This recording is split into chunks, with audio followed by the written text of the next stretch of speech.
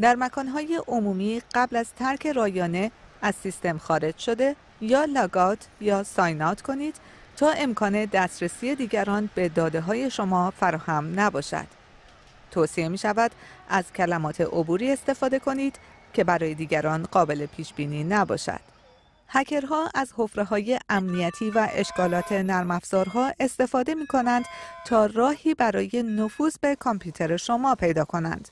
با دستیابی به کلمه های عبور شما امکان دسترسی به حساب های بانکی و اطلاعات شما برای آنها فراهم می شود.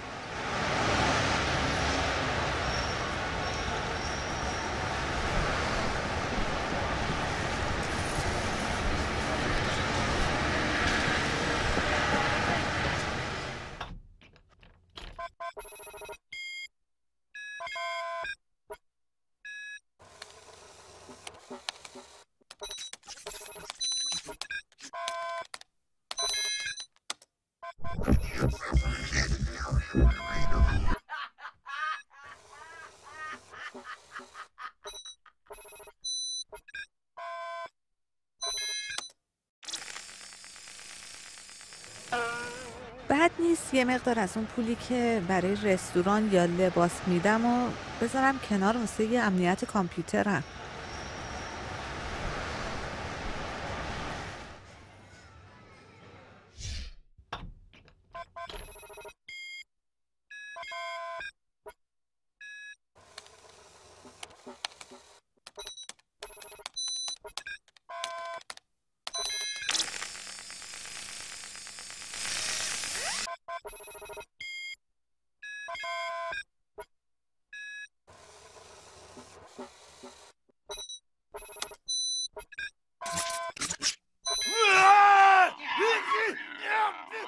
نرم افزارهای قفل شکسته و غیر اوریجینال بهترین وسیله برای نفوذ هکرها به رایانه های شما هستند.